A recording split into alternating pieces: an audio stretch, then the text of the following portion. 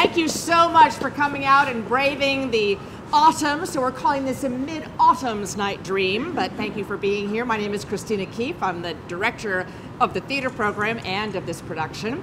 A couple of things before we get started. So the first two scenes are here where you guys are now. The actors will be working between these two trees and a little bit on the steps here and then Puck and the fairies will come out and lead you to Fairyland. So that will, and then the rest of the show will be taking place over in what we're calling the forest. I know you're going to enjoy this show. Have a great time. Thank you for coming.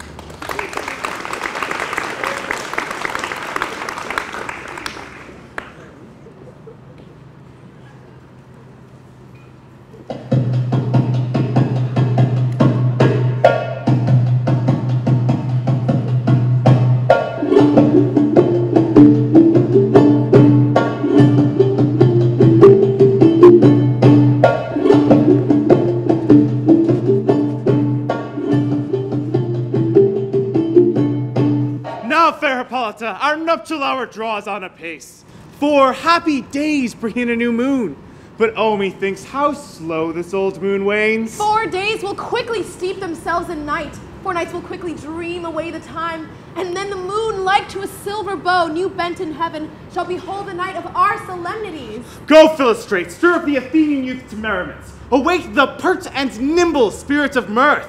Turn melancholy forth to funerals. The pale companion is not for our pomp, Hippolyta, I wooed thee with my sword and won thy love doing thee injuries. But I shall wed thee in another key, with pomp, with triumph, and with reveling. Happy be Theseus, our renowned duke. Thanks, good Aegeus. What's the news with thee? Uh, full of vexation come I with complaint against my child, my daughter Hermia. Uh, stand forth, Demetrius. My noble lord, this man hath my consent to marry her. Stand forth, Lysander, and my gracious duke, this man hath bewitched the bosom of my child. Thou, thou Lysander, thou hast given her rhymes and interchanged love tokens with my child. With cunning hast thou filched my daughter's heart and turned her obedience, which is due to me, to stubborn harshness. And my gracious Duke, be it so she will not hear before your grace consent to marry with Demetrius, I beg the ancient privilege of Athens, as she is mine, and I may dispose of her which shall be either to this gentleman or to her death, according to our law immediately provided in that case. What say you, Hermia? Demetrius is a worthy gentleman. So is Lysander. In himself he is, but in this kind, wanting your father's voice, the other must be held the worthier. I would my father looked, but with my eyes. Rather, your eyes must with his judgment look. I do entreat your grace to pardon me. I know not by what power I made bold, nor how it may concern my modesty in such a presence here to plead my thoughts. But I beseech your grace that I may know the worst that may befall me in this case, if I refuse to wed Demetrius. Either to die the death, or to abjure forever the society of men. Therefore, fair Hermia, question your desires. Know of your youth, examine well your blood. Whether if you yield not to your father's choice, you can endure the livery of a nun. Thrice blessed they that master so their blood to undergo such maiden pilgrimage. But earthlier happy is the rose distilled than that which, withering on the virgin thorn, grows, lives, and dies in single blessedness. So will I grow, so live, so die, my lord. Here I will my virgin pained up unto his lordship, whose unwished yoke my soul consents not to give sovereignty. Take time to pause, and by the next new moon, the sealing day betwixt my love and me, for everlasting bond of fellowship. Upon that day, I prepare to die for disobedience to your father's will, or else wed Demetrius as he would, or on Diana's altar to protest for I austerity in single life. Relent, sweet Hermia. And Lysander, yield thy crazed title to my certain right. You have her father's love, Demetrius. Let me have Hermia's. Do you marry him? Scornful Lysander, true he hath my love, and what is mine, my love shall render him. And she is mine, and all my right of her I do estate unto Demetrius. I am, my lord, as well derived as he, as well possessed. My love is more than his, my fortunes every way as fairly ranked, if not with vantage as Demetrius. And which is more than all these boasts can be? I am beloved of beauteous Hermia. Why should I not then prosecute my right? Demetrius, I'll avouch it to his head, made love to Nedar's daughter, Helena, and won her soul. And she, sweet lady, dotes, devoutly dotes, dotes in idolatry upon this spotted and inconstant I must confess that I have heard so much, and with Demetrius thought to have spoke thereof. But being overfull of self-affairs, my mind did lose it. But come, Demetrius, and come, Aegeus, you shall go with me. I have some private schooling for you both. For you, fair Hermia, look that you arm yourself to fit your fancies to your father's will, or else the law of Athens yields you up, which by no means we may extenuate to death or to avow a single life. Come, Hippolyta. What cheer, my love? Demetrius and Aegeus, go along. I must employ you in some business against our nuptial, and confer with you in something nearly that concerns yourselves. With Jutine desire, we follow you.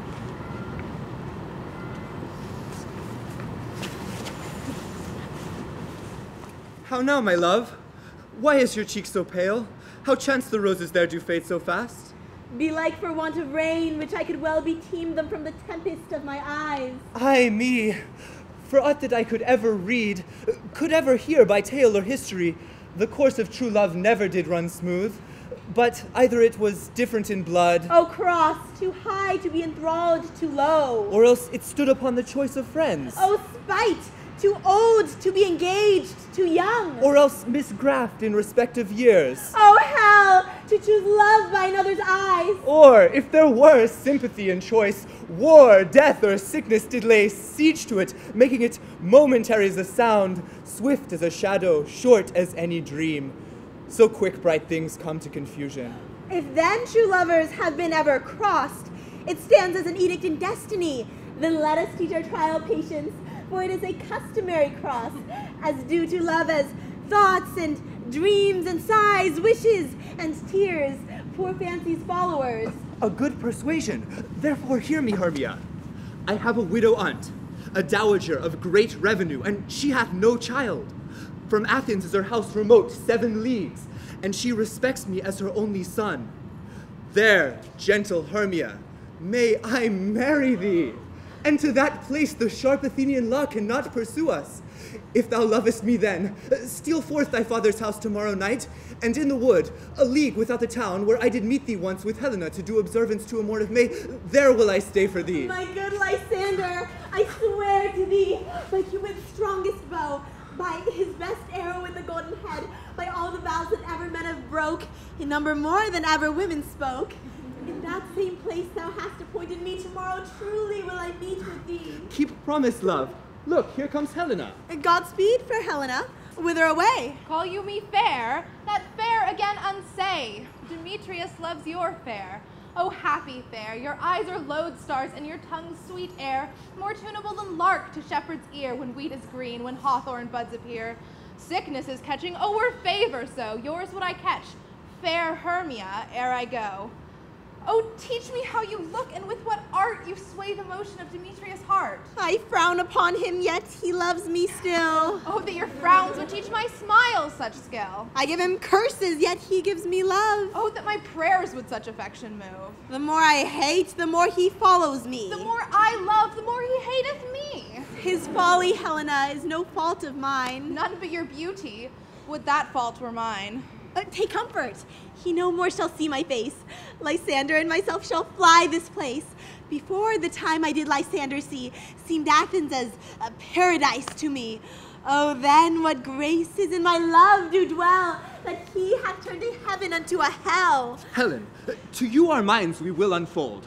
Tomorrow night, when Phoebe doth behold her silver visage in the watery glass, decking with liquid pearl the bladed grass, a time when lovers' flights doth still conceal, from Athens' gates have we devised to steal. And in the wood, where often you and I upon faint primrose beds were wont to lie, emptying our bosoms of their counsel sweet, there my Lysander and myself shall meet, and thence from Athens turn away our eyes to seek new friends and stranger companies.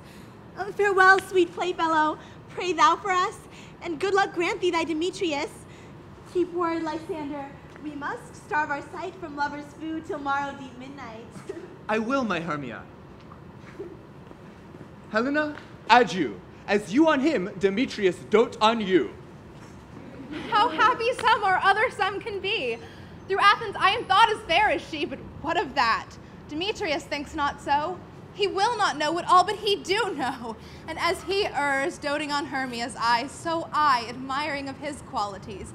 Things base and vile, folding no quantity, love can transpose to form and dignity. Love looks not with the eyes, but with the mind.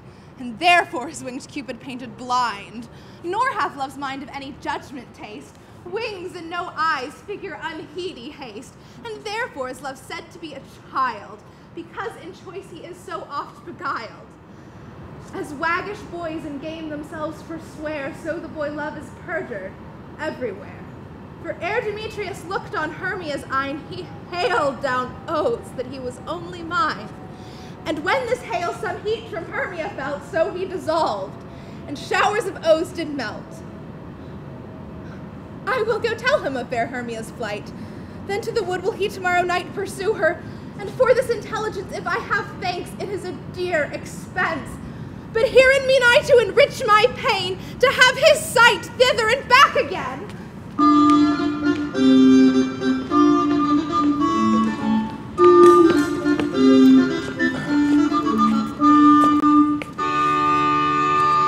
all our company here? You were best to call them generally, man by man, according to the script. Here's the scroll of every man's name which thought fit through all Athens to play in our interlude before the Duke and Duchess on his wedding day at night. First, good Peter Quince, say what the play treats on, then read the names of the actors, and so grow to a point. Marry, our play is the most lamentable comedy and most cruel death of Pyramus and Thisbe. A very good piece of work, I assure you.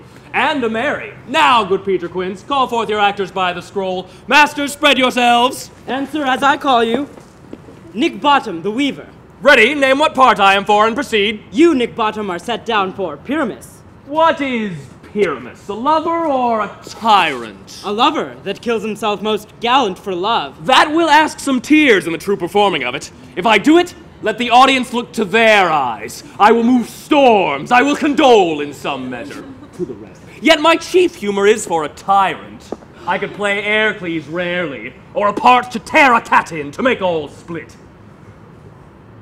The raging rocks and shivering shocks shall break the locks of prison gates, and Phoebus Car shall shine from far and make and mar the foolish fates. This was lofty.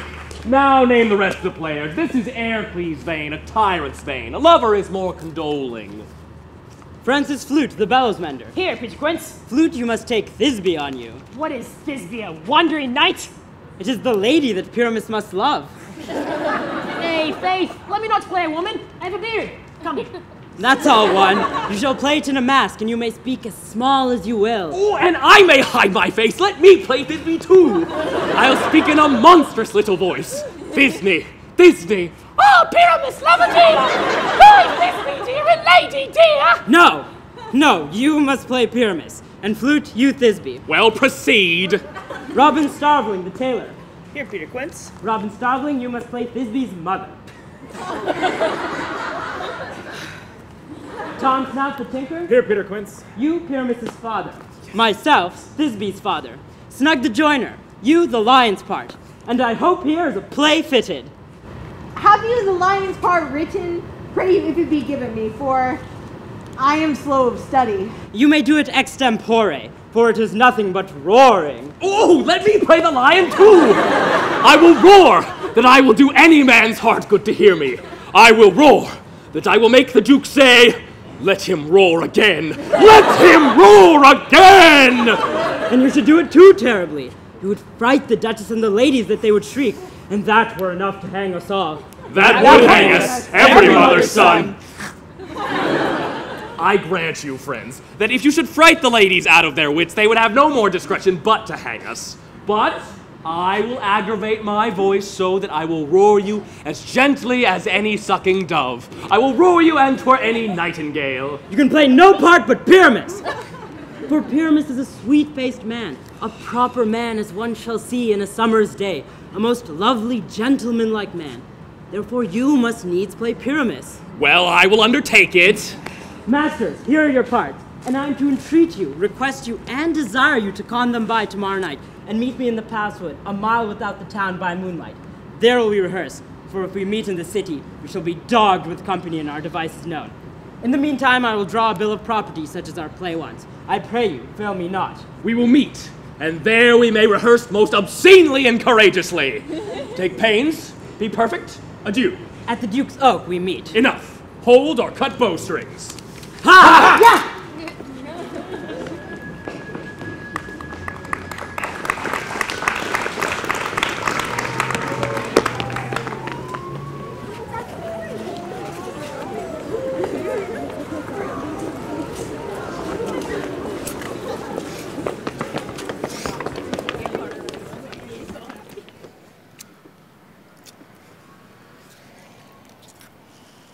How now, spirit? Whither wander you? Over hill, over dale, through brush, through briar, over park, over pale, through flood, through fire. I do wander everywhere, swifter than the moon's sphere. And I serve the fairy queen to do her orbs upon the green. The cowslips tall her pensioners be. In their gold coat spots, you see, those be rubies, fairy favors in those speckles of their savors. I must go seek some dewdrops here, and hang a pearl in every cowslip's ear. Farewell, thou lob of spirits, I'll be gone. Our queen and all our elves come here anon. The king doth keep his revels here tonight. Take care the queen come not within his sight, for he is passing fell and wrath, for she, as her attendant, hath a lovely boy stolen from an Indian king. She never had so sweet a changeling. Either I mistake your shape in making quite, or else you'd be that shrewd and knavish sprite called Robin Goodfellow. Are not you he that frights the maidens of the villagery? Those that hobgoblin call you sweet Puck. You do their work, and they shall have good luck. Are not you he? Thou speak'st aright. I am that merry wanderer of the night. I jest for Oberon and make him smile. But room fairy, here comes Oberon. And here my mistress. Would that he were gone.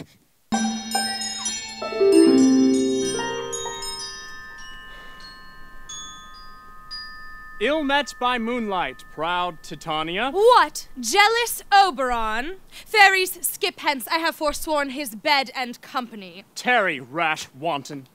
Am not I thy lord? Then I must be thy lady. Why art thou here? Come from the farthest steppe of India, but that, forsooth, the bouncing Amazon, your buskined mistress and your warrior love, to Theseus must be wedded, and you come to give their bed joy and prosperity. How canst thou thus for shame, Titania, glance at my credit with Hippolyta, knowing I know thy love to Theseus? These are the forgeries of jealousy. And never, since the middle summer spring, met we on hill, in dale, forest, or mead, by paved fountain or by rushy brook, or in the beached margent of the sea to dance our ringlets to the whistling wind. But with thy brawls thou hast disturbed our sport. Therefore the moon, the governess of floods, pale in her anger, washes all the air that rheumatic diseases do abound. And through this distemperature, we see the seasons alter hoary headed frosts, far in the fresh lap of the crimson rose, and on old Hiems' thin and icy crown, an odorous chaplet of sweet summer buds is, as in mockery, set.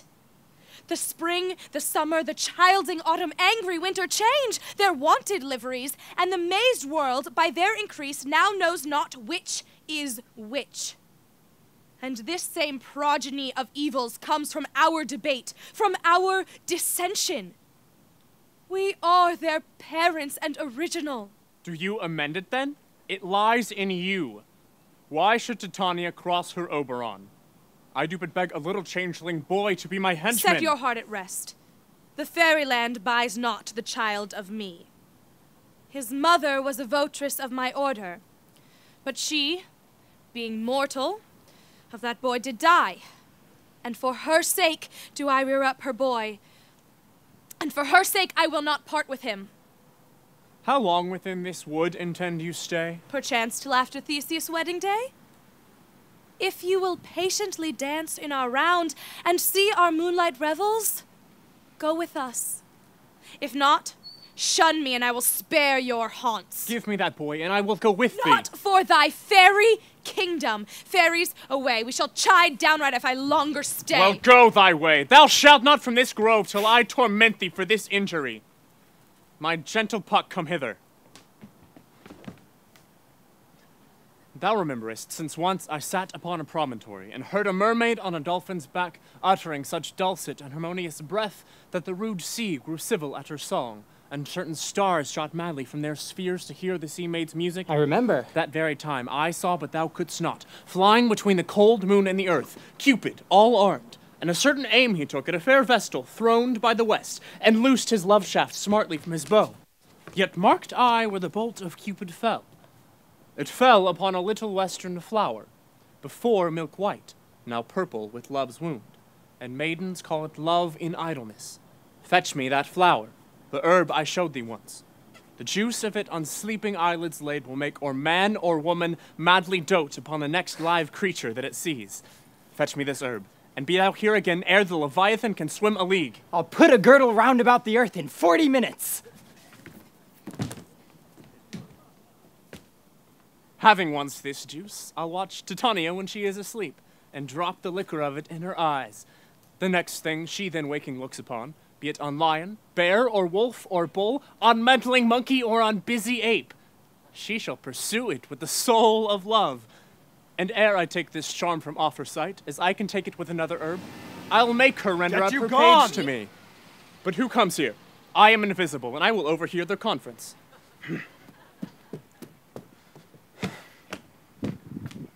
I love thee not, therefore pursue me not. Where is Lysander and fair Hermia?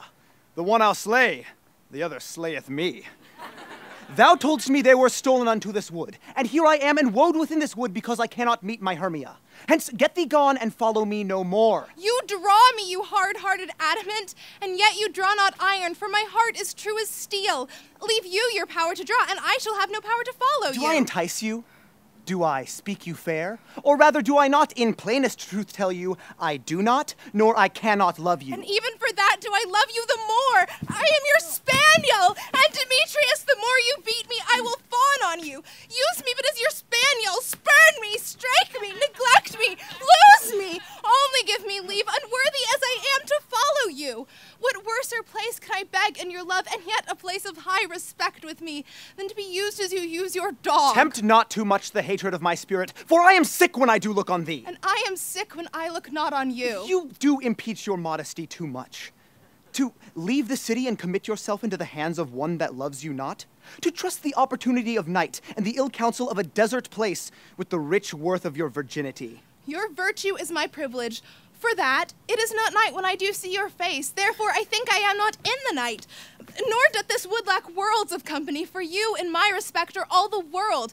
Then how can it be said I am alone when all the world is here to look on me? I'll run from thee and hide me in the brakes, and leave thee to the mercy of wild beasts. The wildest hath not such a heart as you! I will not stay thy questions. Let me go! Or if thou follow me, do not believe, but I shall do thee mischief in the wood. Aye, in the temple, the town, the field, you do me mischief. Fie, Demetrius! Your wrongs do set a scandal on my sex. We cannot fight for love as men may do. We should be wooed, and we're not made to woo. I'll follow thee and make a heaven of hell to die upon the hand I love so well. Fare thee well, nymph. Ere he do leave this grove, thou shalt fly him, and he seek thy love. Hast thou the flower there? Welcome, wanderer. Aye. There it is. I know a bank where a wild thyme blows, where oxlips and the nodding violet grows quite over canopied with luscious woodbine, with sweet musk roses and with eglantine. There sleeps Titania some time of the night, lulled in these flowers with dances and delight. And there the snake throws her enameled skin, weed wide enough to wrap a fairy in. And with the juice of this, I'll streak her eyes and make her full of hateful fantasies. Take thou some of it, and seek through this grove. A sweet Athenian lady is in love with a disdainful youth. Anoint his eyes, but do it when the next thing he espies may be the lady. Thou shalt know the man by the Athenian garments he hath on. Affect it with some care, that he may prove more fond on her than she upon her love. And look thou meet me ere the first cock crow. Fear not, my lord, your servant shall do so.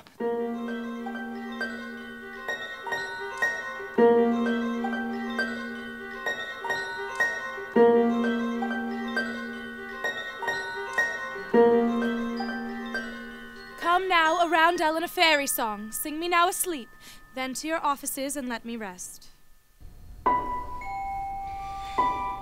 You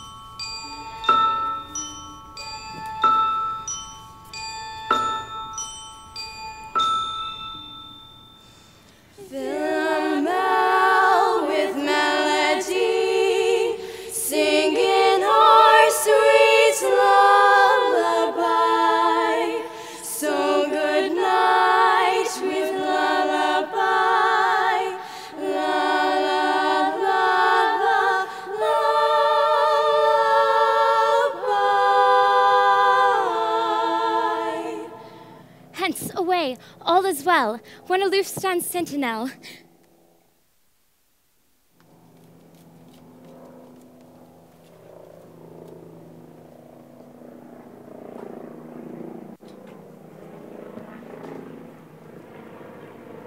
What thou seest when thou dost wake, do it for thy true love take.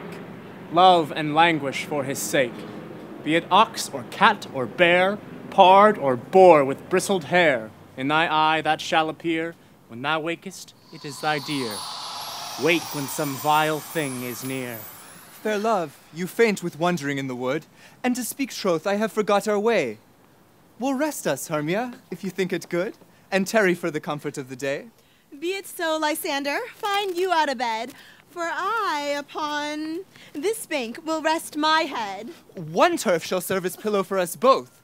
One bed, one heart, two bosoms, and one troth. Nay, good Lysander, uh, for my sake, my dear, lie further off yet. Do not lie so near. Oh, take the sense, sweet, of my innocence.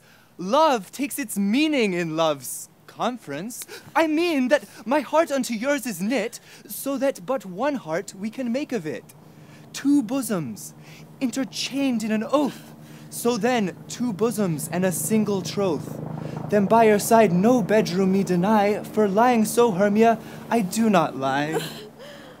Lysander riddles very prettily. Now much beshrew my manners and my pride if Hermia meant to say Lysander lied. But, gentle friend, for love and courtesy, lie further off in human modesty. Such separation as may well be said becomes a virtuous bachelor and a maid. So far be distant. And good night, sweet friend. Thy love ne'er alter till thy sweet life end. Amen, amen to that fair prayer, say I. And then in life, when I end loyalty, here is my bed. Uh, sleep give thee all the rest. With half that wish, the wisher's eyes be pressed.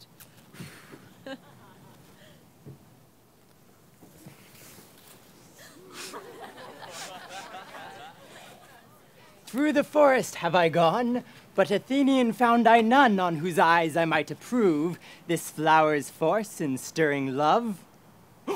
Night and silence! Who is here? Weeds of Athens he doth wear. This is he, my master said, despised the Athenian maid. And hear the maiden, sleeping sound on the dank and dirty ground. Pretty so. She durst not lie near this slack love, this kill courtesy. Churl, upon thine eye I throw all the power this charm doth owe.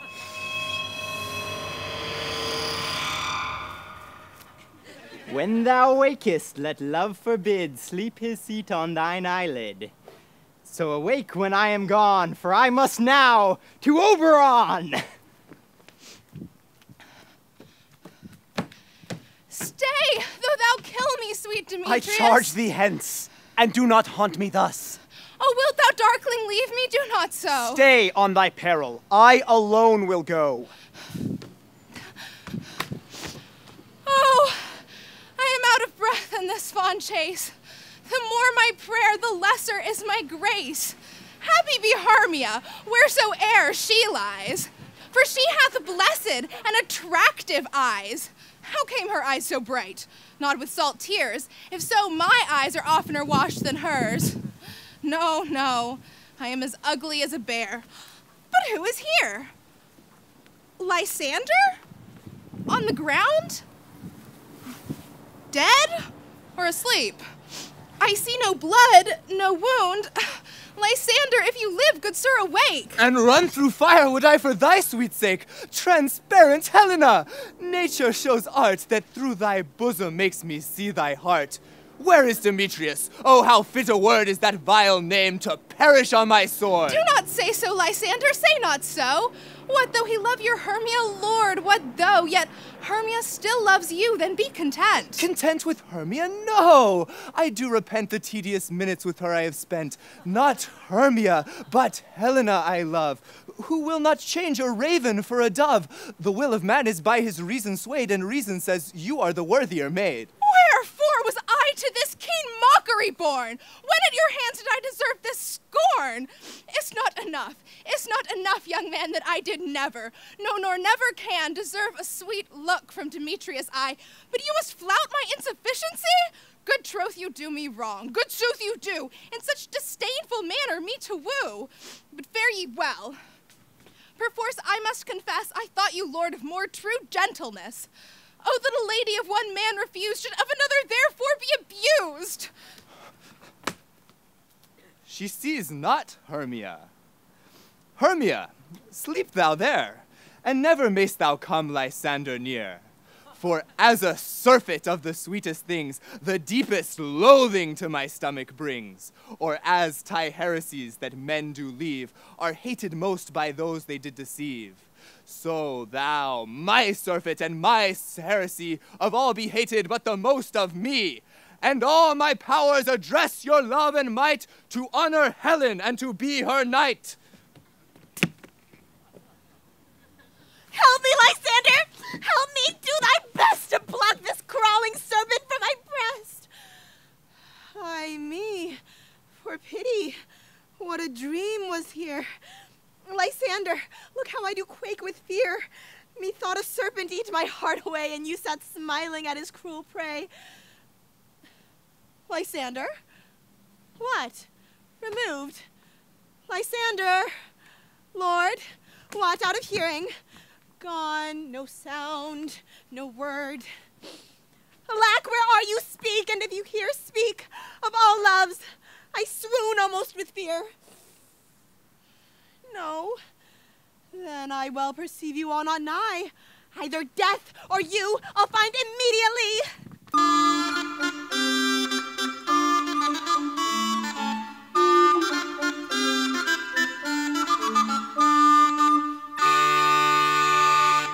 Are we all met? Pat pat. And here's a marvelous convenient place for our rehearsal. This green plot shall be our stage, this hawthorn brake our tiring house, and we will do it in action as we will do it before the Duke. Peter Quince. What sayest thou, Bully Bottom? There are things in this comedy of Pyramus and Thisbe that will never please. First, Pyramus must draw a sword to kill himself, which the ladies cannot abide. How answer you that? Fire lacking a parlous fear. I believe we must leave the killing out when all's done. Not a whit. I have a device to make all well. Write me a prologue, and let the prologue seem to say that we do no harm with our swords, and that Pyramus is not killed indeed. Oh, for the more better assurance, tell them that I, Pyramus, am not Pyramus, but Bottom the Weaver. This will put them out of fear.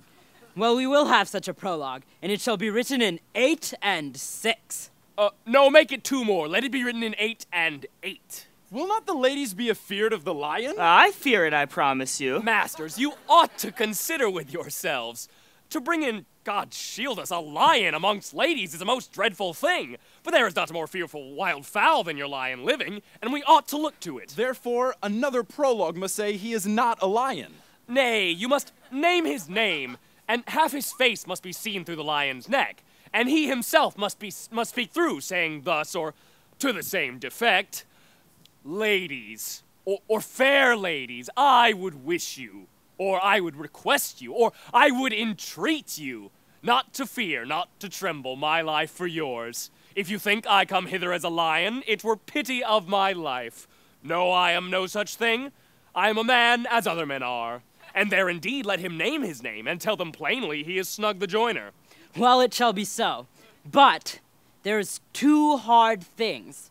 That is to bring the moonlight into a chamber, for you know Pyramus and Thisbe meet by moonlight. Doth the moon shine on the night we play our play? A calendar, a calendar. Look in the almanac. Find out moonshine. Find out moonshine.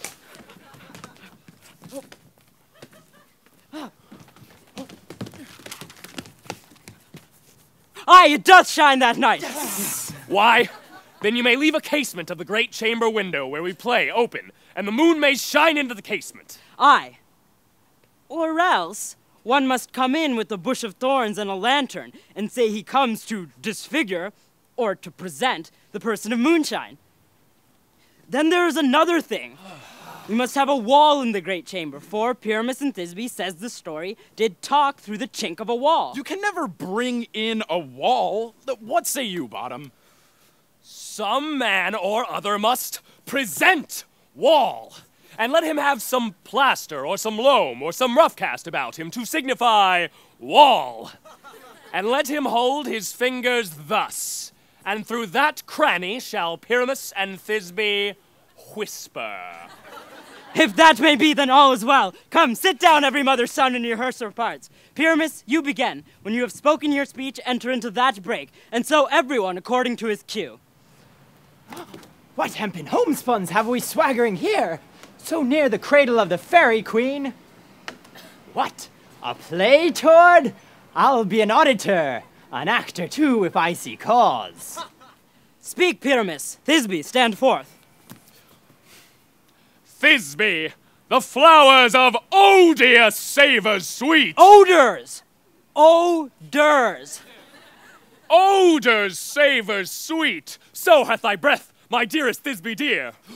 But hark, a voice. Stay thou but here a while, and by and by I will to thee appear. A stranger Pyramus than e'er played here. Must I speak now? Aye, marry must you, for you must understand he goes but to see a noise that he heard, and is to come again. Most radiant Pyramus. Most radiant Pyramus? most radiant Pyramus, most lily white of hue, of color like the red rose on triumphant briar, most brisky juvenile, eke most lovely Jew, as true as truest horse that yet would never tire. I'll meet thee, Pyramus, at Ninny's tomb. Ninus tomb, man! Well, you must not speak that yet. That you speak to Pyramus. You speak all your part at once, cues and all. Pyramus, enter! Your cue is past. It is never tire. As true as truest horse that yet would never tire. If I were fair, Thisbe, I were only thine. Oh, monstrous! Oh, strange! We are haunted! Braymasters, flymasters, help! I'll follow you. I'll lead you about around. Through bog, through bush, through brake, through briar. Sometimes a horse I'll be, sometimes a hound. A hog, a headless bear, sometimes a fire. And neigh and bark and grunt and roar and burn like horse, hound, hog, bear, fire at every turn. Why do they run away? This is a knavery of them to make me afeard. Oh, Bottom, thou art changed. W- what do I see on thee? What do you see? You see an ass head of your own, do you? Bless thee, Bottom, bless thee. Thou art translated. I see their knavery. This is to make an ass of me, to, to fright me if they could. But I will not stir from this place, do what they can. I will walk up and down here, and I will sing that they shall hear that I am not afraid. Ah! The ouzel cock so black of hue. With orange tawny bill, the throstle with his note. So true, the wren with little quill. What angel wakes me from my flowery bed? The finch, the sparrow, and the lark, the plain song cuckoo gray. Whose note full many a man does mark and dares not answer. Nay. Uh, for indeed, who would set his wit to so foolish a bird? Who would give a bird the lie, though he cry cuckoo never so? I pray thee, gentle mortal, sing again. Mine ear is much enamored to thy note, so is mine eye much enthralled to thy shape, and thy fair virtues force perforce doth move me on the very first to say, to swear, I love thee. Methinks, mistress, you should have little reason for that. And yet, to say the truth, reason and love keep little company together nowadays. The more the pity some honest neighbors will not make them friends. Uh, nay, I can gleek upon occasion. Thou art as wise as thou art beautiful. Not so, neither. Uh, but if I had wit enough to get out of this wood, I have enough to serve mine own turn. Out of this wood do not desire to go. Thou shalt remain here, whether thou wilt or no. I am a spirit of no common rate. The summer still doth tend upon my state, and I do love thee. Therefore, go with me. I'll give thee fairies to attend on thee, and they shall fetch thee jewels from the deep, and sing while thou on pressed flowers dost sleep, and I shall purge thy mortal grossness so that thou shalt like an airy spirit go. Peaseblossom, cobweb, moth, and mustard seed.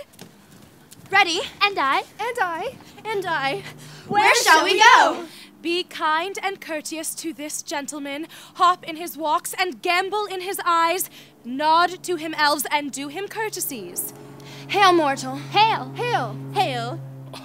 I cry your worship's mercy heartily. I beseech your worship's name. Cobweb.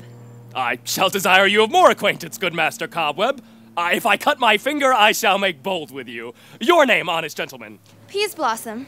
I pray you, uh, commend me to Mistress Squash, your mother, and to Master Peascod, your father. Good Master Peaseblossom, I shall desire you of more acquaintance too. Uh, your name, I beseech you, sir. Mustard seed. Good Master Mustard Seed, I know your patience well. Uh, that same cowardly, giant like ox beef hath devoured many a gentleman of your house. Uh, I promise your kindred had made my eyes water ere now. I desire your more acquaintance, good Master Mustard Seed. Come, lead him to my bower. The moon, methinks, looks with a watery eye, and when she weeps, weeps every little flower, lamenting some enforced chastity. Tie up my love's tongue. Bring him silently.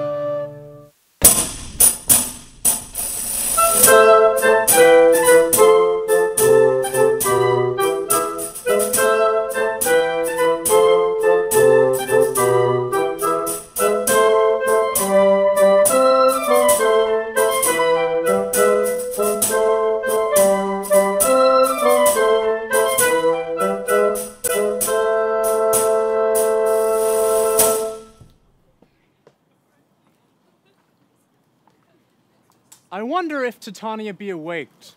Then what it was next came in her eye, which she must dote upon in extremity. How now, mad spirit? What night rule now about this haunted grove? My mistress with the monster is in love. Near to her close and consecrated bower, when she was in her dull and sleeping hour, a crew of patches, rude mechanicals that work for bread upon Athenian stalls, were met together to rehearse a play intended for great Theseus' nuptial day. The shallowest thick skin of that barren sort, who Pyramus presented, in their sport forsook his scene and entered in a break. When I did him at this advantage take, an ass's knoll I fixed upon his head. Anon his Thisbe must be answered, and forth my mimic comes. When him they spy, at his sight, away his fellows fly, and at our step here o'er and o'er one falls. He murder cries, and help from Athens calls. I led them on in this distracted fear, and left sweet Pyramus translated there.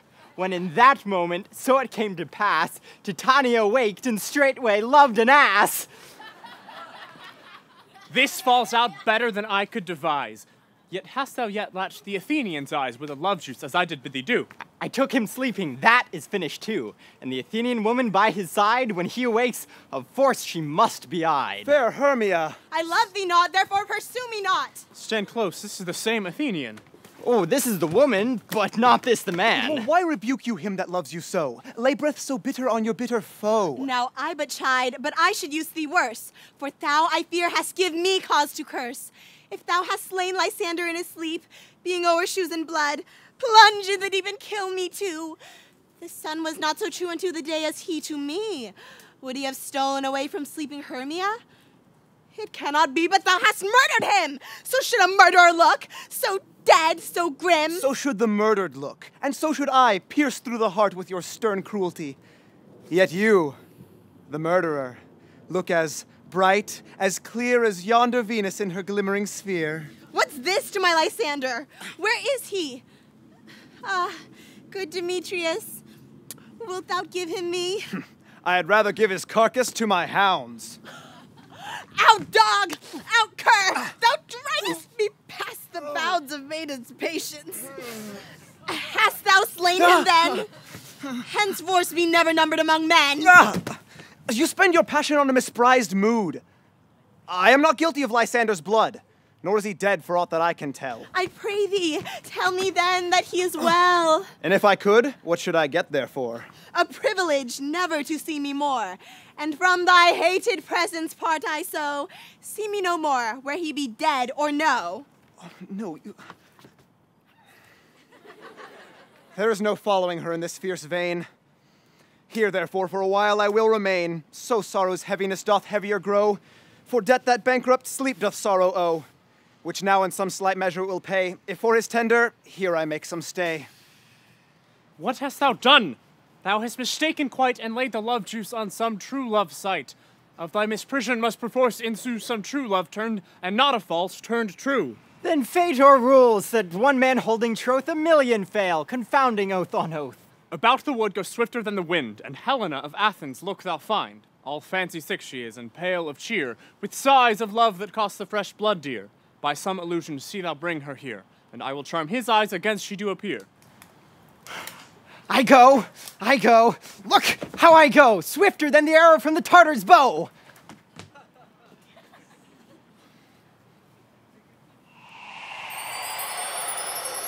Flower of this purple dye, hit with Cupid's archery, sink in apple of his eye. When his love he doth espy, let her shine as gloriously as the Venus of the sky. When thou wakest, if she be by, beg of her for remedy. Captain of our ferry band, Helena is here at hand, and the youth mistook by me, pleading for his lover's fee. Shall we their fond pageant see? Lord, what fools these mortals be! A manly enterprise. Helena! Stand aside. The noise they make will cause Demetrius to awake. Oh, then we'll two at once woo one. That must needs be sport alone, for these things do best please me that befall preposterously. Why should you think that I should woo and scorn? Scorn and derision never come in tears. Look, when I vow, I weep, and vow so born in the nativity all truth appears. How can these things in me seem false to you, bearing the badge of faith to prove them true? You do advance your cunning more and more. When truth kills truth, oh, devilish holy fray. These vows are Hermia's. Will you give her o'er? I had no judgment when to her I swore. Nor none in my mind now. You give her o'er. Demetrius loves her, and he loves not you. Oh, Helena. Goddess, nymph, perfect, divine! To what, my love, shall I compare thine eyne? Oh, crystal is muddy. Oh, how ripe and show thy lips those kissing cherries tempting grow. Oh, spite! Oh, hell! I see you all are bent to set against me for your merriment! If you were civil and knew courtesy, you would not do me thus much injury. Can you not hate me, as I know you do, but you must join in souls to mock me too? If you were men, as men you are in show, you would not use a gentle lady so, to vow and swear and super praise my parts when I am sure you hate me with your hearts. You both are rivals and love Hermia. And now both rivals to mock Helena. You are unkind, Demetrius. Be not so, for you love Hermia. This you know I know. And here, with all good will, with all my heart, in Hermia's love I yield you up my part, and yours of Helena to me bequeath, whom I do love and will do till my death. Never did mockers waste more idle breath. Lysander, keep thy Hermia. I will none. If e'er I loved her, all that love is gone. My heart to her but as guestwise sojourned. And now to Helen it is home returned, there to remain. Helen, it is not so. Disparage not the faith thou dost not know, lest to thy peril thou abide it, dear. Oh, look where thy love comes. Yonder is thy dear. Dark night, that from the eye his function takes, the ear more quick of apprehension makes. Thou art not by mine eye, Lysander, found. Mine ear, I think it, brought me to thy sound. But why unkindly didst thou leave me so? Why should he stay whom love doth press to go? What love could press Lysander from my side? Lysander's love that would not let him bide. Fair Helena, who more engilds the night than all you fiery O's and eyes of light. Why seek'st thou me? Could not this make thee know the hate I bear thee made me leave thee so? You speak not as you think, it cannot be. Whoa! She is one of this confederacy. Now I perceive they have conjoined all three to fashion this false sport in spite of me. Injurious Hermia, most ungrateful maid, have you conspired? Have you with these contrived to bait me with this foul derision? Is all the counsel that we two have shared, the sisters' vows, the hours that we have spent when we have chid the hasty footed time for parting us, oh, is all forgot? All school days, friendship, childhood, innocence, and will you rent our ancient love asunder to join with men in scorning your poor friend? It is not friendly, tis not maidenly. Our sex as well as I may chide you for it, though I alone do feel the injury. I am amazed at your passionate words. I scorn you not. It seems that you scorn me. Have you not set Lysander, as in scorn, to follow me, and praise my eyes and face, and made your other love Demetrius, who even but now did spurn me with his foot, to call me goddess, nymph, divine, and rare, precious, celestial? Wherefore speaks he this to her he hates? And wherefore doth Lysander deny your love, so rich within his soul and tender me, forsooth, affection, but by your setting on, by your consent? I understand not what you mean by this. I do. Persever, counterfeit sad looks, make mouths upon me when I turn my back. If you had any pity, grace, or manners, you would not make me such an argument. But fare ye well. Tis partly mine own fault, which death or absence soon shall remedy. Stay, gentle Helena, hear my excuse. My love, my life, my soul, fair Helena. Oh, excellent! Sweet, do not scorn her so. If she cannot entreat, I can compel. Thou canst compel no more than she entreat. Thy threats have no more weight than her weak prayers. Helen, I love thee by my life I do. I swear by that which I would lose for thee to prove him false that says I love thee not. I say I love thee more than he can do. If thou say so, withdraw and prove it too. Quick, come! Lysander, where to tends all this? Away, you Ethiop! No, no, he'll seem to break loose.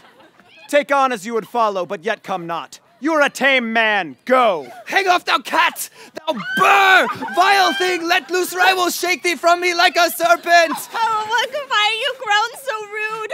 What change is this, sweet love? Thy love!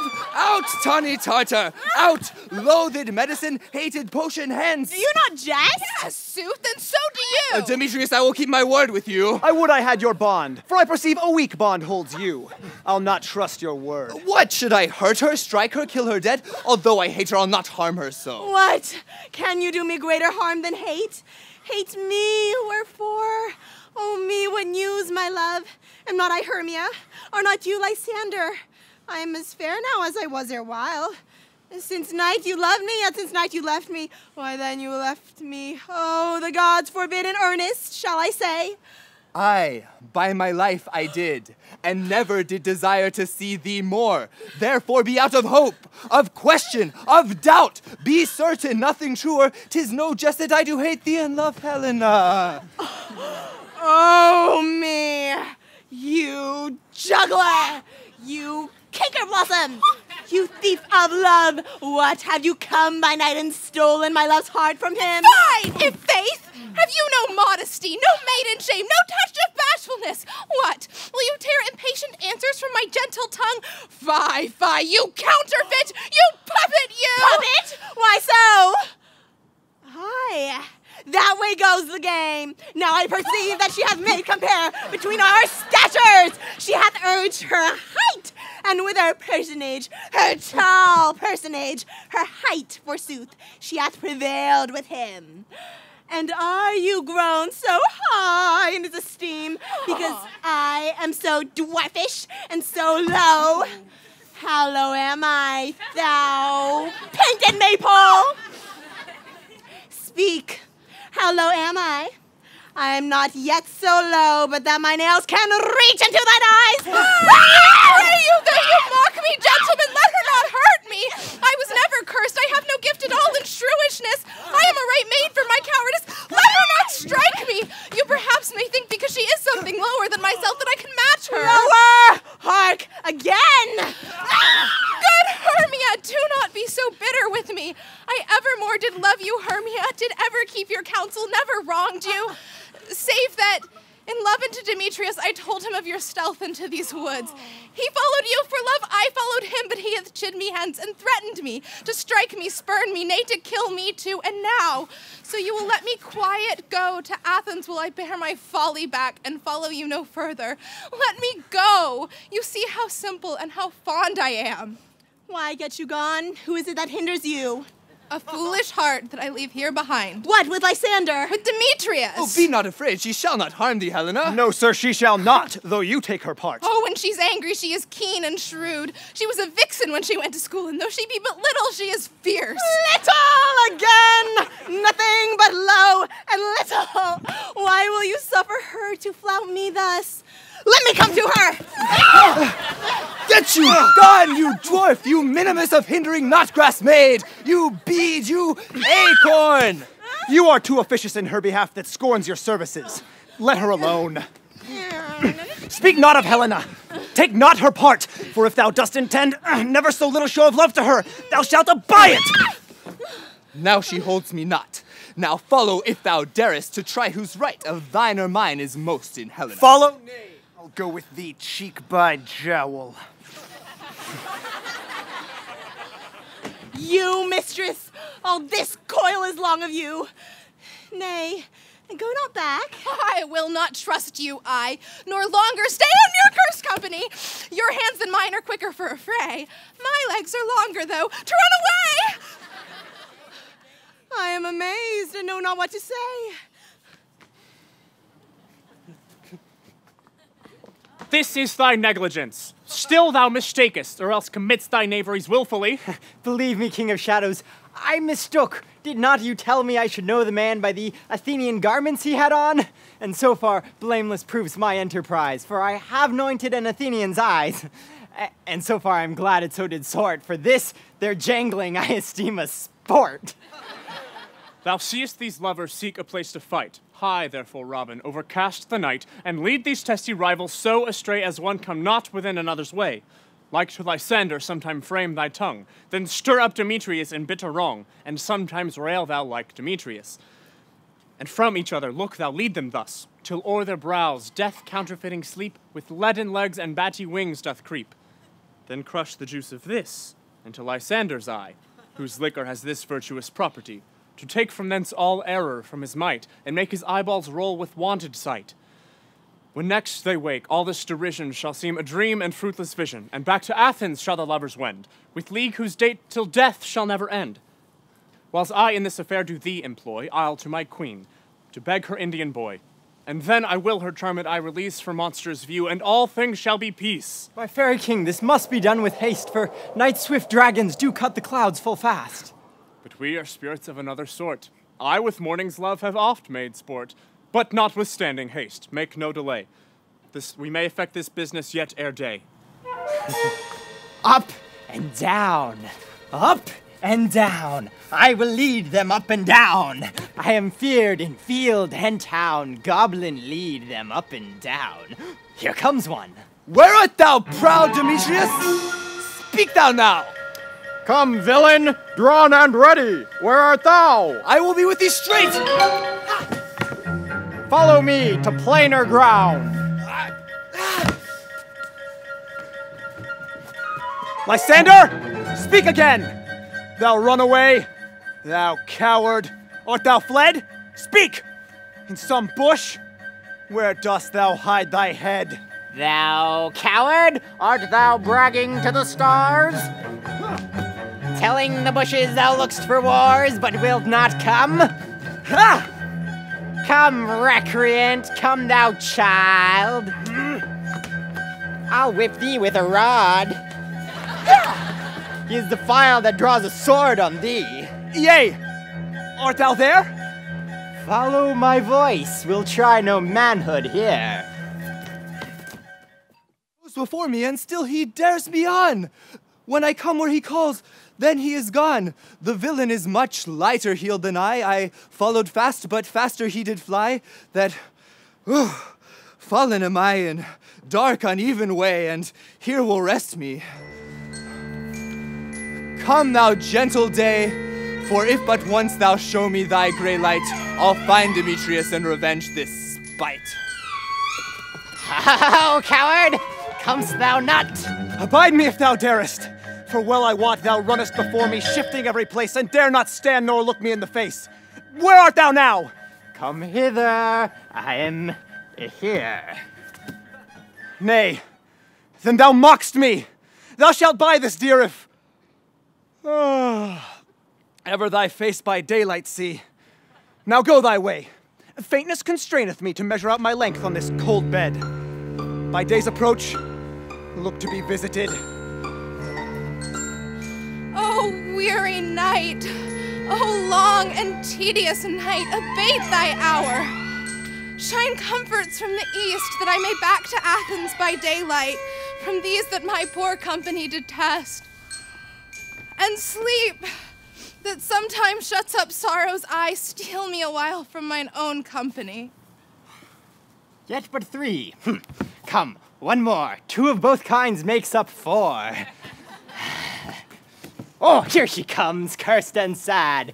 Cupid is a knavish lad, thus to make poor females mad. Never so weary, never so in woe, bedabbled with the dew and torn with briars. I can no further crawl, no further go. My feet can keep no pace with my desires. Here will I rest me till the break of day. Heaven's shield Lysander if they mean a fray. On the ground, sleep sound. I'll apply to your eye, gentle lover, remedy.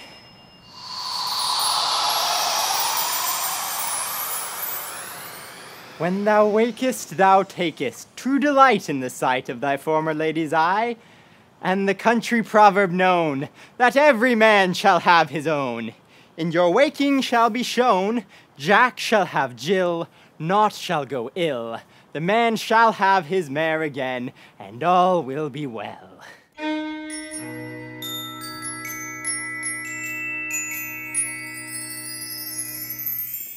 Come, sit thee down upon this flowery bed, while I thy amiable cheeks do coy, and stick musk roses in thy sleek, smooth head, and kiss thy fair, large ears, my gentle joy. Where's Peaseblossom? Ready? Scratch my head, Peaseblossom. Where's Monsieur Cobweb? Ready. Monsieur Cobweb, good monsieur, get you your weapons in your hand, and kill me a red-hipped humblebee on the top of a thistle. And, good monsieur, bring me the honey bag.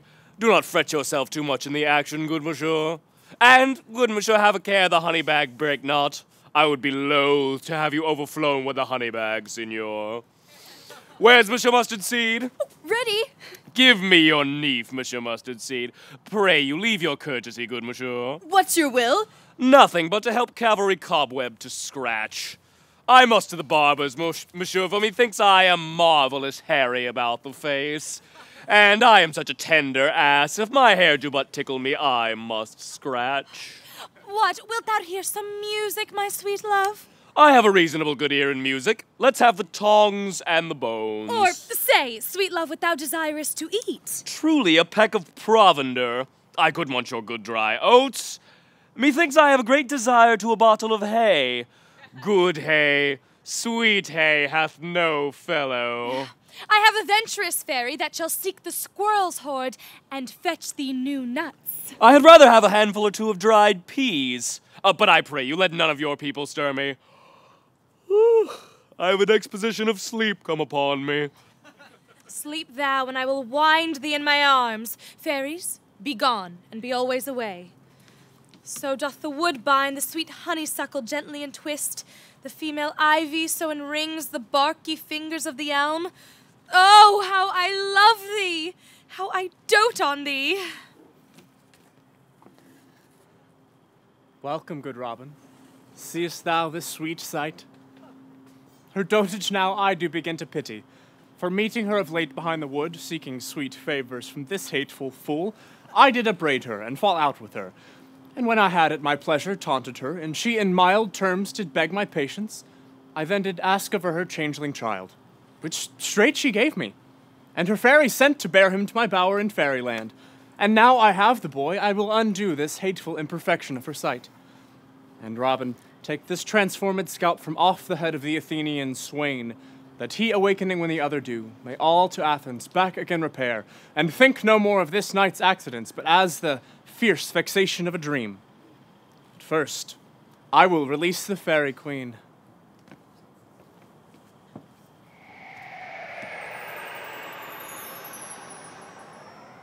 Be as thou wast wont to be, see as thou wast wont to see. Dian's bud or Cupid's flower hath such force and blessed power. Now, my Titania, wake you, my sweet queen.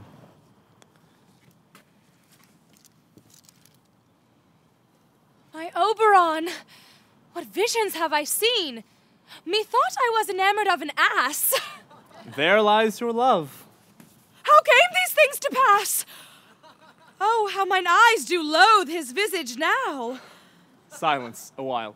Robin, take off this head. Titania, music call, and strike more dead than common sleep of all these five the sense. Music ho! Music such as charmeth sleep. Now, when thou wakest with thine own fool's eyes peep.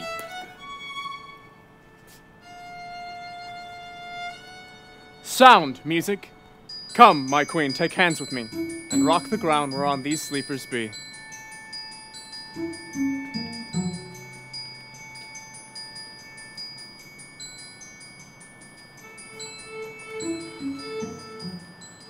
Now thou and I are new in amity, and will tomorrow midnight solemnly dance in Duke Theseus' wedding triumphantly and blessed to all fair prosperity. There shall the pairs of faithful lovers be wedded with Theseus, all in jollity. My fairy king, attend and mark, I do hear the morning lark. Then, my queen, in silence sad, trip we after the night's shade. We the globe can compass soon, swifter than the wandering moon. Come, my lord, and in our flight tell me how it came this night that I sleeping here was found, with these mortals on the ground.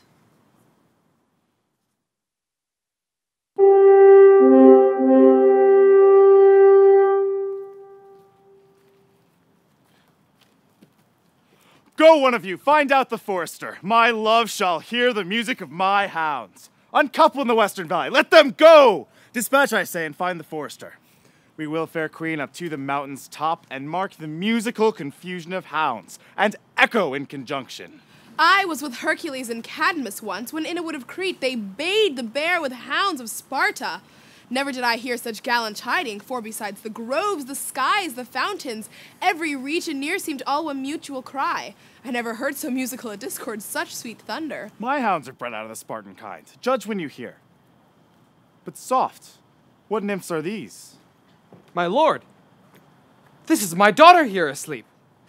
And this Lysander. This Demetrius's. This Helena, old Nedar's Helena. I wonder if they're being here together. No doubt they rose up early to observe the rite of May, and hearing our intent, came here and grace our solemnity. But speak, Aegeus. Is this not the day that Hermia should give answer of her choice? It is, my lord. Go, bid the huntsmen wake them with their horns. Good morrow, friends! St. Valentine is past. Begin these wood birds but to couple now? Pardon, my lord! I pray you all stand up. I know you two are rival enemies. How comes this gentle concord in the world, that hatred is so far from jealousy, to sleep by hate and fear no enmity? My lord, I shall reply amazedly, half sleep, half waking. But as yet, I swear, I cannot truly say how I came here. Uh, But as I think, uh, for truly would I speak, and as I do bethink me, so it is, I came with Hermia hither. Our intent was to be gone from Athens, where we might, without the peril of the Athenian law, be. Enough, enough, my lord, you have enough. I beg the law, the law upon his head. They would have stolen away. They would, Demetrius, thereby to defeated you and me. You of your wife and me of my consent. Of my consent that she should be your wife. My lord, fair Helen told me of their stealth, of this their purpose hither to this wood, and I in fury followed them, fair Helen in fancy following me. But, my lord, I wot not by what power, but by some power it is. My love to Hermia melted as the snow. Seems to me now as the remembrance of an idol god, which in childhood I did dote upon. And all the faith, the virtue of my heart, the object and the pleasure of mine eye, is only Helena. To her was I betrothed ere I saw Hermia. But as in sickness did I loathe this food. But as in health come to my natural taste. Now I do wish it, love it, long for it, and will forevermore be true to it. Fair lovers, you are fortunately met. Of this discourse we more will hear anon. Aegeus, I will overbear your will. For in the temple, by and by with us, these couples shall eternally be knit. Away with us to Athens, three and three. We'll hold a feast in great solemnity. Come, Hippolyta. These things seem small and undistinguishable. Methinks I see these things with parted eye, where everything seems double. So methinks, and I have found Demetrius like a jewel, mine own and not mine own. Are you sure that we are awake? It seems that yet we sleep, we dream. Do not you think the Duke was here and bid us follow him? Yea, and my father. And Hippolyta. And he did bid us follow to the temple. Why then we are awake. Come, let us follow him. And by the way, let us recount our dreams.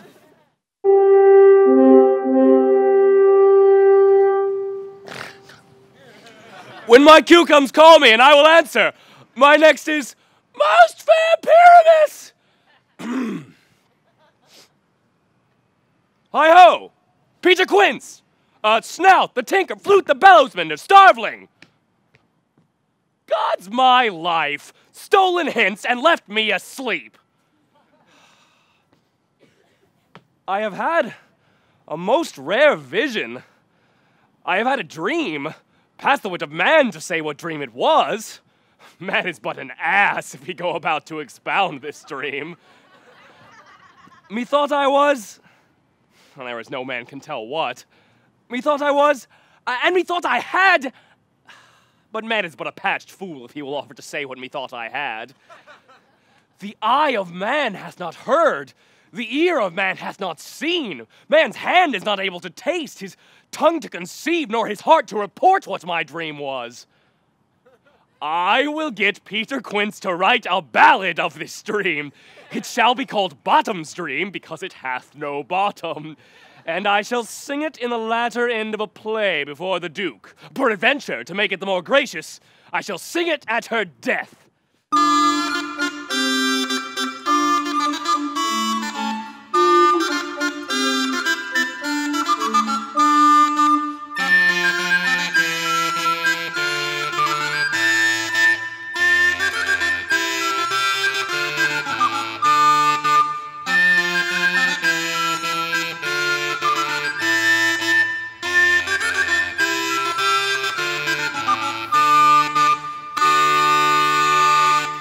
Have you sent to Bottom's house? Is he come home yet? He cannot be heard of out of doubt he is transported.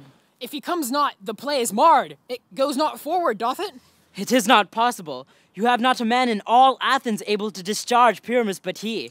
No, he hath simply the best wit of any handicraft man in Athens. Yea, and the best person too. And he is a very paramour for a sweet voice. You must say paragon. A paramour is, God bless us, a thing of naught. Masters! The Duke is coming from the temple, and there is two or three lords and ladies more married. If our sport had gone forward, we had all been made men. Oh, sweet bully bottom! Thus hath he lost sixpence a day during his life. He could not have escaped sixpence a day, and the Duke had not given him sixpence a day for playing Pyramus. I'll be hanged! He would have deserved it! Sixpence a day in Pyramus or nothing! Where are these lads? Where are these hearts? Bottom! almost courageous day, almost happy hour. Masters, I am to discourse wonders. But ask me not what, for if I tell you, I am no true Athenian. I will tell you everything right as it fell out. Let us hear, sweet bottom. Not a word of me.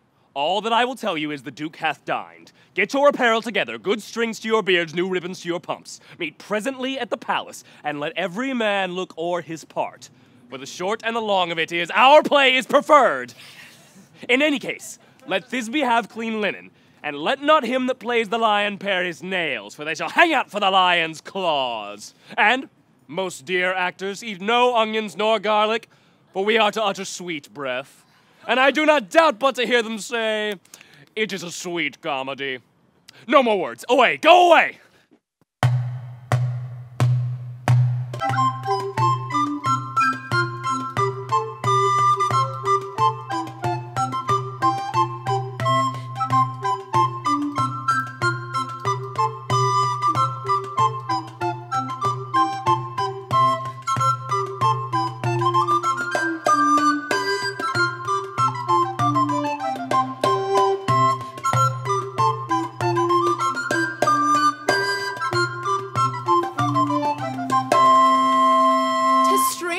Theseus, that these lovers speak of.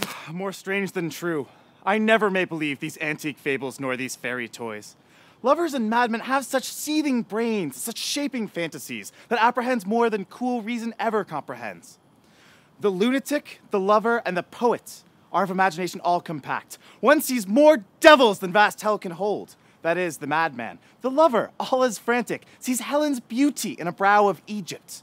The poet's eye in fine frenzy rolling doth glance from heaven to earth, from earth to heaven, and as imagination bodies forth the forms of things unknown, the poet's pen turns them to shapes and gives to airy nothing a local habitation and a name.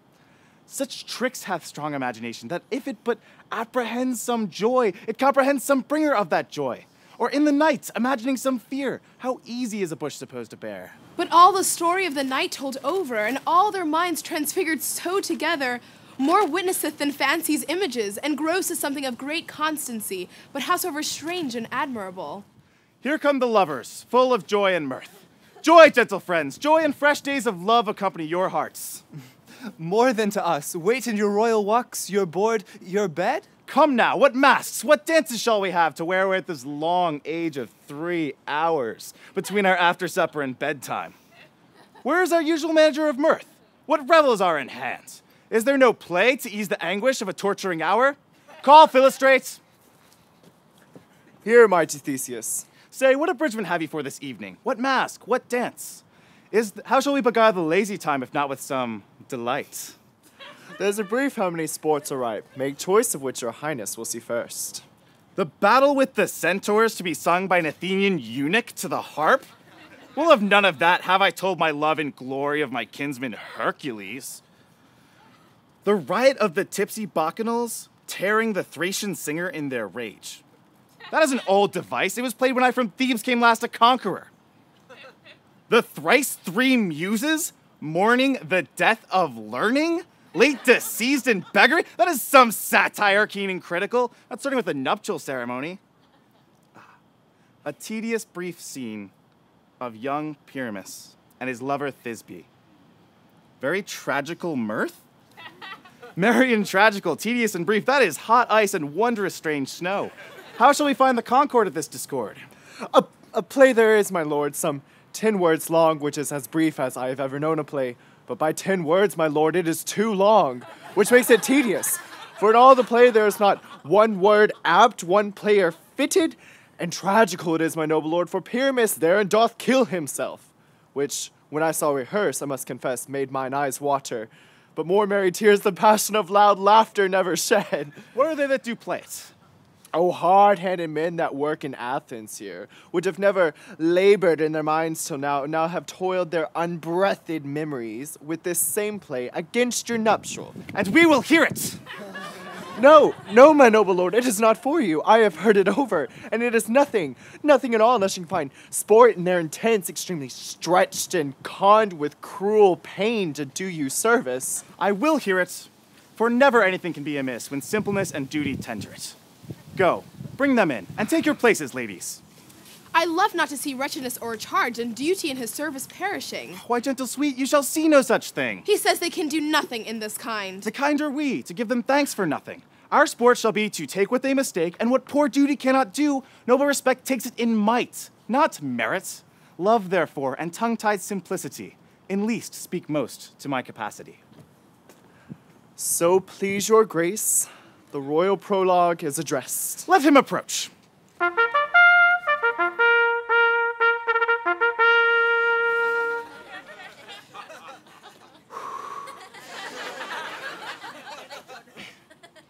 If we offend, it is with our goodwill that you should think we come not to offend, but with goodwill. To show our simple skill, that is the true beginning of our end. Consider then, we come but in despite. We do not come as minding to contest you, our true intent is. All for your delight, we are not here. That you should here repent you, the actors are at hand, and by their show you shall know all that you are like to know. This fellow doth not stand upon points. He hath rid his prologue like a rough colt. He knows not the stop. A good moral, my lord. It is not enough to speak, but to speak true. Indeed, he hath played on his prologue like a child on a recorder, a sound, but not in government. His speech was like a, a tangled chain, nothing impaired, but all disordered. Who is next? Gentles, perchance you wonder at the show, but wonder on till truth make all things plain. This man is Pyramus, if you would know. This beauteous lady, Thisbe is certain. This man with lime and rough cast doth present Wall, that vile wall which did these lovers sunder. And through Wall's chink, poor souls, they are content to whisper. At the which, let no man wonder.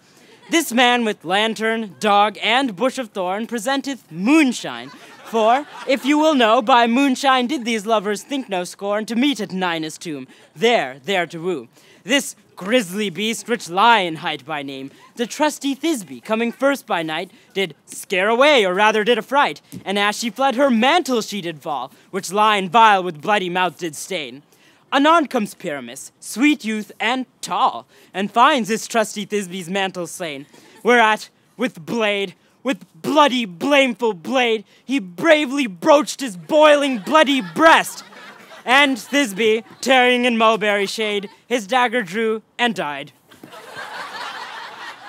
For all the rest that lie in moonshine wall and lovers twain at large discourse, while here they do remain. I wonder if the lion be to speak. No wonder, my lord. One lion may when many asses do. In this same interlude it doth befall that I, one snout by name, present a wall. And such a wall as I would have you think that had in it a crannied hole or chink, through which the lovers Pyramus and Thisbe did whisper, often very secretly. This loam, this rough cast, and this stone doth show that I am the same wall. The truth is so. And this the cranny is, right and sinister, through which the fearful lovers are to whisper. Would you desire Lyman Hair to speak better? It is the wittiest partition that e'er I heard discourse, my lord. Pyramus draws near the wall. Silence! Oh, grim looked night! Oh, night with hue so black! Oh, night, whichever art when day is not! Oh, night! Oh, night! Alack, alack, alack! I fear my Thisbe's promises forgot! And thou, oh wall, oh sweet, oh lovely wall, thou standst between her father's ground and mine, thou wall. Oh wall, oh sweet, oh lovely wall, show me thy chink to blink through with mine eye. Thanks, courteous wall. Jove shield thee well for this.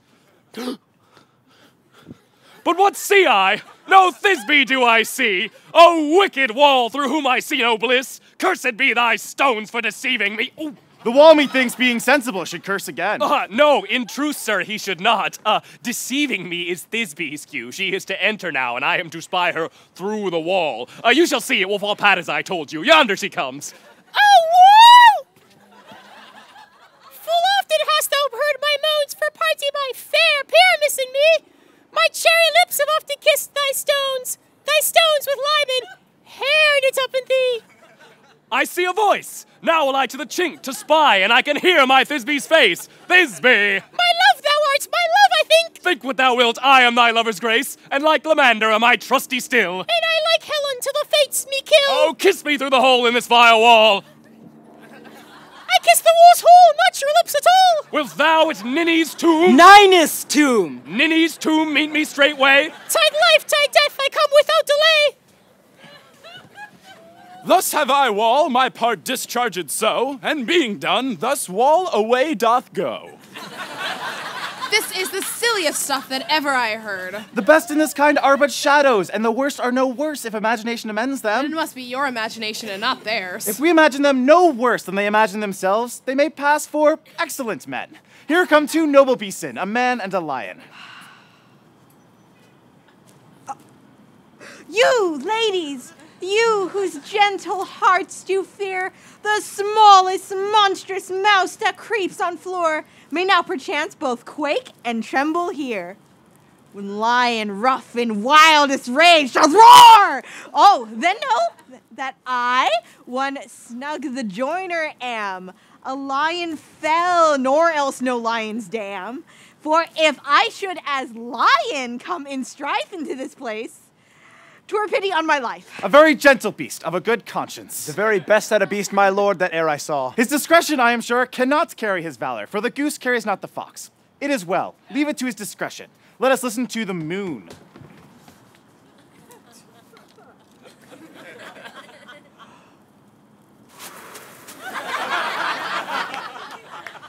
Oh!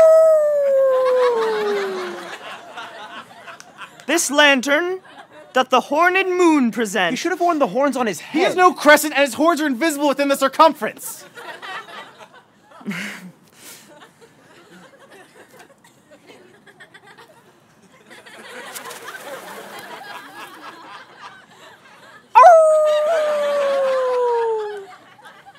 This lantern that the horned moon present, myself the man in the moon do seem to be. This is the greatest error of all the rest. The man should be put in the lantern. How else is it the man in the moon? He dares not come for the candle, for you see, it is already in snuff. I am a weary of this moon. Would he change? It would appear by the small light of his discretion that he is in the wane. But yet, in courtesy, in all reason, we must stay the time. Proceed, moon.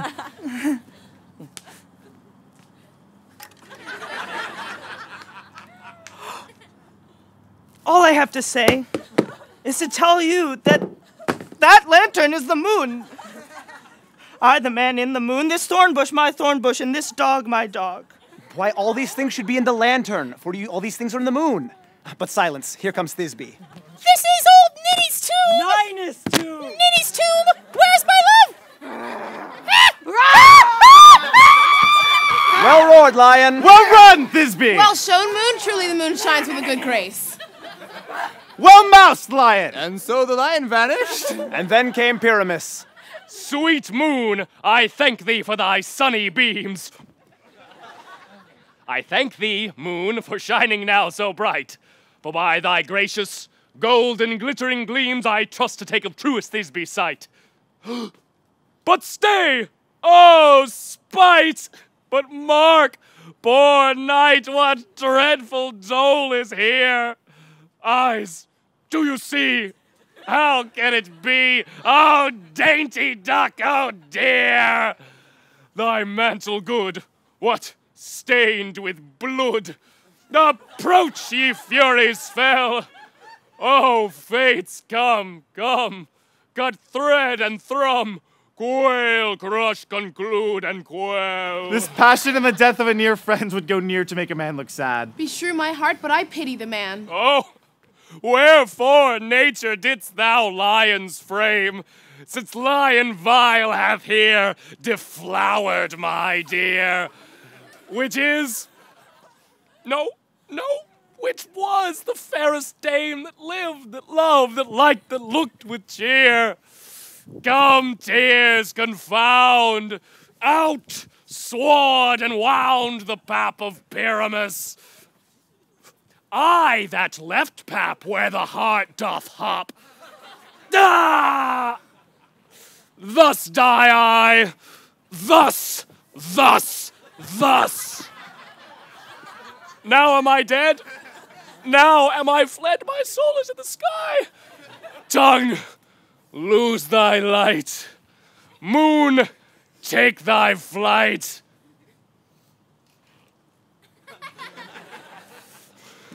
Now die, die, die, die, die!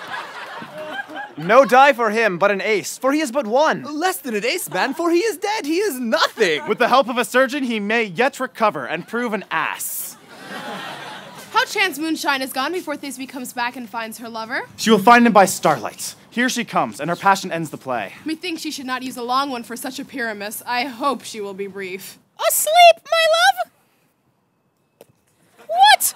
Dead, my dove? Oh, Pyramus, arise! Speak, speak, quite dumb? Dead, dead. A tomb shall cover thy sweet eyes. These my lips. This cherry nose, these yellow cowslip cheeks are gone, are gone. Lovers, make moans. His eyes were green as lynx. Oh, sisters three, come, come to me with hands as pale as milk. Lay them in gore, since you have shore with shears as thread of silk. Tongue, not a word. Come, trusty sword. Come, my breast debut. And farewell, friends. Thus, Thisbe ends. Adieu. Adieu.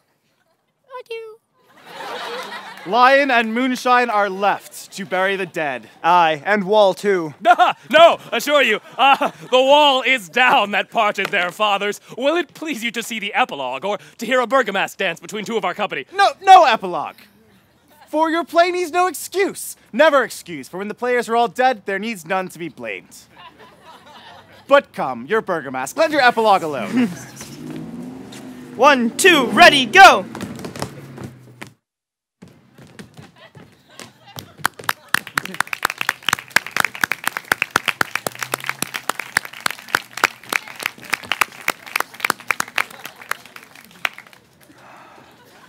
The iron tongue of midnight hath told twelve. Lovers, to bed. Tis almost fairy time. I fear we may outsleep the coming morn as much as we this night hath overwatched. This palpable gross play hath well beguiled the heavy gait of night. Sweet friends, to bed. A fortnight hold we this solemnity, in nightly revels and new jollity.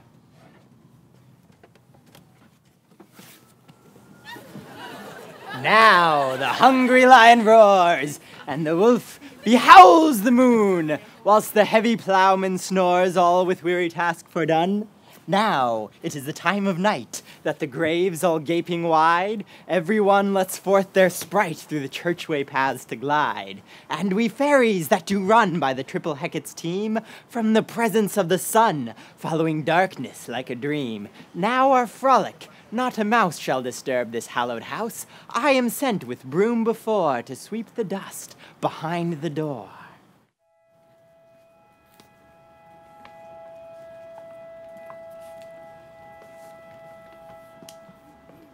Through the house give gathering light by the dead and drowsy fire.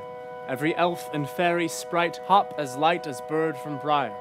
And this ditty after me sing and dance it trippingly. First rehearse your song by rote, to each word a warbling note. Hand in hand with fairy grace, will we sing and bless this place.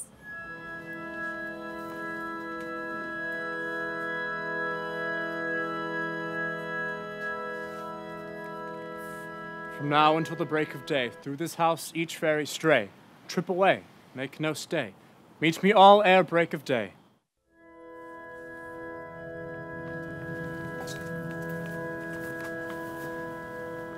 We shadows have offended, think but this, and all is mended. That you have but slumbered here while these visions did appear, and this weak and idle theme no more yielding than a dream. Gentles, do not reprehend. If you pardon, we will mend. And as I am an honest puck, if we have unearned luck, now to scape the serpent's tongue, we will make amends ere long, else the puck a liar call. So good night unto you all. Give me your hands if we be friends, and Robin shall restore amends.